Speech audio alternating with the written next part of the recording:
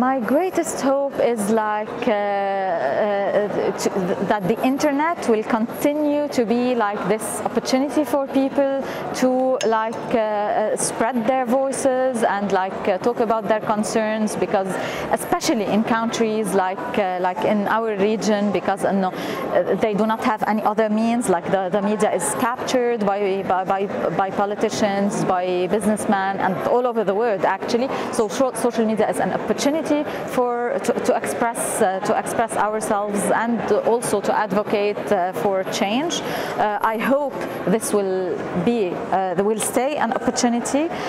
the the fear is of course like with with now artificial intelligence and algorithms and like the new challenges that technology is facing. My fear is that we will not be able to have like deep conversations with the, the giant tech companies and also with the states in order to find like solutions that would do this balance between fighting hate speech, let's say, and, uh, and uh, maintaining freedom of expression, for example.